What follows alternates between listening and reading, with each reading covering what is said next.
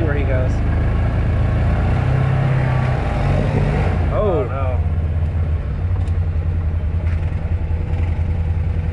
He doesn't have a whole lot of ground clearance there.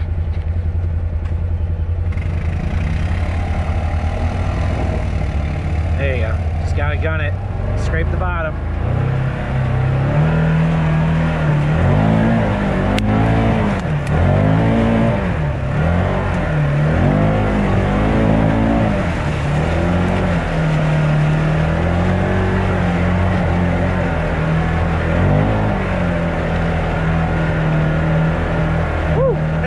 Dip right there.